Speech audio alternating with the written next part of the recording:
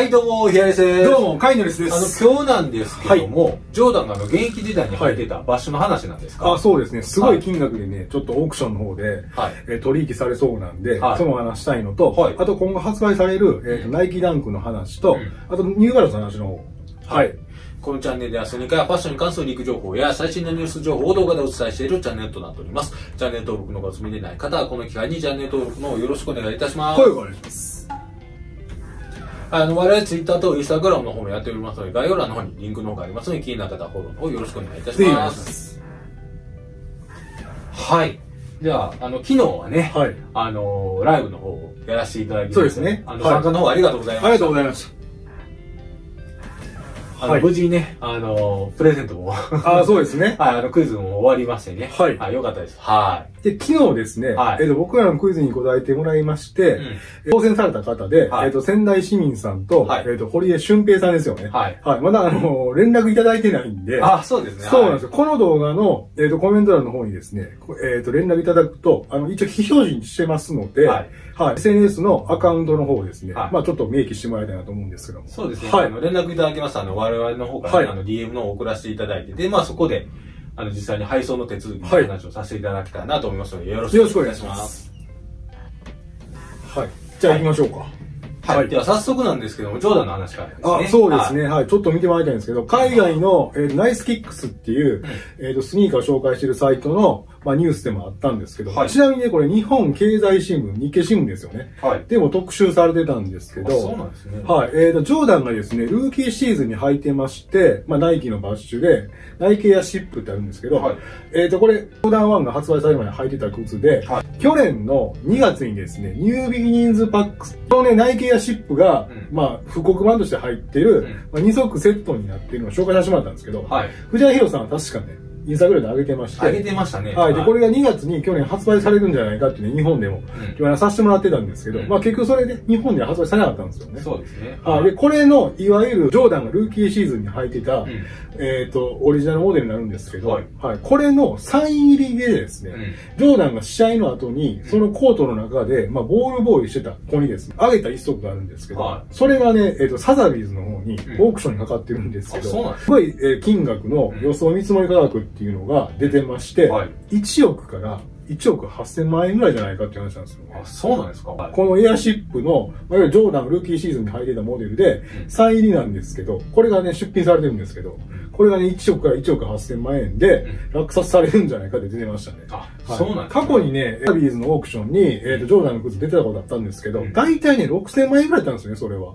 はい、今回のこのエアジョーダン1履く前に履いたナイキの、うんまあ、バッシュであるナイキエアシップが出品されてるんですけど、うんそれがね、その倍の1億8000万円ぐらいになるんじゃないかっていう話なんですよ。そうですすごいっすよねすごいですね。はい。で、そんな、この、えーと、ナイキエアシップが、まあ、去年ね、 New Beginnings Pack っていうことで、えーと、発売されたじゃないですか。はい2足セットなんですけど、うん今、金額どうなってるのかなと思いまして、ストック X のを見ると、はい。大体ね、30万から40万円ぐらい取引されてましたね。あ、そうなんですそうなんですよ。はい。これ日本で発売されなかったんですけど、うん。はい。日本の、えっ、と、いわゆる並行輸入でうん販売してるお店とか見てたんですけど、はいまあ大体日本円で40万円ぐらいで売られてましたね。結構なお値段結構ねなんですよね。まあこれ結局日本でね、発売されなかったんで、はそうなんですよね。こういったね、まあすごい金額で落札されるんじゃないかっていう、はいまあニュースが上がってたんですけど、い。はあこれに続いてナイキダンクの発売の情報をやりたいんですけど、はいうんはい、ちょっと見てもらいたいんですけど、韓国のスニーカーズの方を見てますと、うんえっ、と、10月の16日付のとこ見てもらいたいんですけど、はいえっ、と、アメリカでは来月発売されるんじゃないかって言われてる、うんナイキダンクローの IO あるじゃないですか。ははいい、通称ゴールデンロットなんですけど、はいこちらの方がね、一応韓国のスニーカーズの方で10月16日に来てまして、ああ、そうなんですね。はい。っていうことは、まあ、アジアでの発売もしかしたら、うん。10月の16日ぐらいなのかなってちょっと思ってしまうんですけど。はいはい。ただ日本のスニーカーズであったりとか、アトモスの、えっ、と、今後発売されるね、ローンチカレンダーとか見てても、うんえーと全然情報が来てないので、はいどうなるかわかんないんですよ。ただ16日だったら、そろそろアトモスさんの方からですね、その抽選の情報であったら出てくるんじゃないかなと思うんですけど、そうですよね。はい。はい。まだこの辺情報が分かれば。そうですね。はいあの、ちなみに僕、昨日ちょっとスニーカーズ日本のなんですけど、はい立ち上げたあの、パタしか載ってなかったです。あそうですよね。おそらくなんですけど、パター以降の、その、なんていうんですかね、発売の情報が更新されるんじゃないですかね。そうですね。はい、この韓国の、えー、とスニーカーズ見てますと、うんパターの次の日の発売がこのゴールデンノットになってるんで、日本にも来てほしいですね。そうです。ね。はい。はい。で続いてなんですけども、ナイキダンクハイのグレイホブです。あ、そうです。これ、はいウィメンズなんですけど、はいナイキの方が公式写真ができまして、はいはい、ちょっと見てもらいたいんですけど、まあ、ナイキダンクハイの、まあ、グレーで、うんよく見ると、まあ、ヴィンテージ加工されているような、うんナイキダンクハイで、これ、ウィメンズになるんですけど、はい。こちらは海外の方で10月の14日っていう発売が来てまして、はいまあ、それに先駆けて、ナイキの方が公式写真ができてるんですけど、うんこれ日本の発売の情報まだ来てないですよね。そうですね。はい。まあ、日本の発売は10月14日だとするとですね、うんそろそろね、何か情報が出てきてもいいかなと思うんですけど、そうですよ。はい。最近ね、ウィメンズで、まあ、うんボルドーとかもそうなんですけど、は日本で発売されてないんで、あ、そうですね。はい。これもどうなるのかなと思うんですけど、まあ、遅れてね、うんそのま、まとめて発売されたらいいかなと思うんですけど、はい。はい。まだこの辺情報が分かれば。そうですね。はい。はい。で、続いて同じくダンクですね。あ、そうですね。はいこちらに関しては発売が近いんじゃないかって言われてる、ナイキダンクローの、まあ、エイジドネイビーって言われてる、まあ、以前にも話してるんですけど、まあ、ヴィンテージネイビーっていうね、通称もついてる、まあ、ちょっとやや加工されてるような、ヴィンテージ加工されてるような、まあ、ナイキダンクローのミッドナイトネイビーなんですけど、うんこちらが持ってる方の投稿で履いてらっしゃる写真が色々出てきてまして、うんはい、こんな形でいろんな角度が撮ってる画像が出てきてるんですけど、うんこちらね、こぞって海外のスニーカー系サイトを見てますと、本当にリリースが近いんじゃないかというふうな書き方がされてたので、はい。これもね、まあ、ナイキの方で公式写真ができたらですね、発売近いと思うので、うんまあ、期待したいなと思うんですけど、これこれ欲しいっすよね。カラーリングですよね。はい、僕もちょっと欲しいなと思ってるんですけど、うんはい、まだこの辺も情報が分かれば。はい。はい。で、続いて同じくナイキダンクローになるんですか？はい。こちらね、GS になるんですけど、ナイキダンクローの GS でハングタグって言うんですけど、はい。ナイキの公式写真が出てまして、はい。こんな形で出てるんですけど、スウッシュの部分よく見てもらうと、マジックテープみたいになってるんですよね。ああ、そうなんはい、でです付属しているアクセサリーの、まあ、これ大きくビッグ N って書いてるんですけど、はい。これを多分貼り付けたりできるような、あ、そうまあ、なデザインになってるナイキダンクローだと思うんですけど、はいはい。まあ、これ、えっと、メンズのサイズで発売されるんじゃなくて、うん。まあ、GS のサイズで発売されるモデルなんですけど、ははい。でね、これがね、紹介されてた海外のスニーカー系サイトの、まあ、ちょっと文章が出たんですけど、は2021年っていうのは、まあダンクにとって大きな年だったって書いてあるんですよね。はいはいまあ、ダンクのリリースって結構多かったんで。そうですね。はい、確かに2021年はどういう年だったって言われたら、まあ、ダンクの年って思うんですけど、そうですよね。はい、そんなナイキダンクが2022年に向けても、うんまあ、2021年同様、まあ、こういった感じでいろいろリリースされるんじゃないか、続くんじゃないかっていうことが書かれてたんですよ。はいはいはい。なんで、まあ、来年の前半にかけてまた、ダンクのリリース多いんじゃないですかね。そうですね。はい、まだ情報は出てきてないんですけど、うんまだ、えっ、と、1985年のね、カレッジカラーのナイキダンクハイで、んネバダのカラーってまだ出てないんですよ。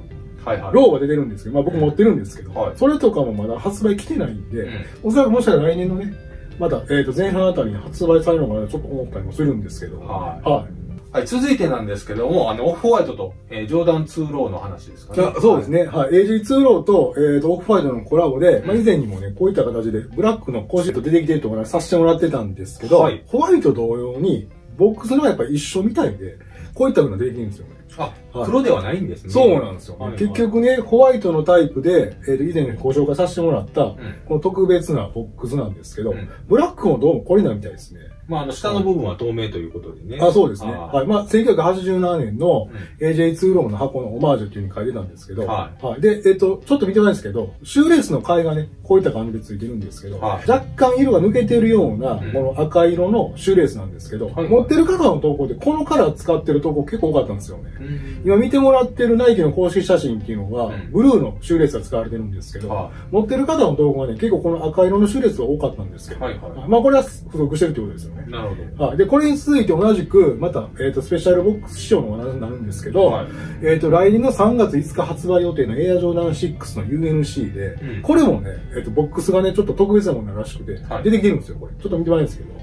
はい、UNC のカードを落とし込んでるエアジョーダン6のボックスなんですよね。はい。はい。続いてあの、ニューバランスですか？あそうですね。991でイギリスメイドのヨーロッパの一部の小売りの方でもうすでに発売されてるんですけど、はい10月の16日だったか26日に、えっ、と、ニューバランスの方でも発売されるんじゃないかっていう情報がね、海外のスニーカー系サイトに書いてたんですけど、はい991をベースにブラウン、グレイ、ネイビーの名前が付いてるもので、はい来てましたね。うんはい991ね、僕、えっ、と、昨日の、えー、と生放送の方で、ニューバランスの1600のアジアメイドの復刻をね、買ったってものさせてもらってたんですけど、はいはいこれ今見てもらったら991なんですけど、うん最近発売された990の V2 ってあるんですけど、はい。それのブラックがね、次ちょっと欲しいなと思ってるんですけどね。ああ、そうなんですね。はい。まあそういったのがこの991の、えーとまあ、新しいカラーのモデルで、うんえーと、イングランド製のモデルでですね、うん発案状が来てるっていう話なんですけど、これね、はいなんかあの、色合い的には、この秋口あそうですよねちょうどいいような感じのカはい。ラーそういった、はい、説明も、えー海外の人に言い訳に書いてましたあね、。そうなんですね。はいあの、昨日ね、はいあの、ライブの中で、あの、僕らあの、二人ともあの、ヨッテムの方させていただいたんですけども、まあ、あの、無事に発送されたら、そうですね。はい、あの、届きましたらね、あの、こちらの方でまた紹介の方ね、やっていけたらなと思いますので、気になる方はチャンネル登録のよろしくお願いいたします。はい、お願いします。はい、それでは本日は以上となります。フィアレスでした。会議のでした。さよなら。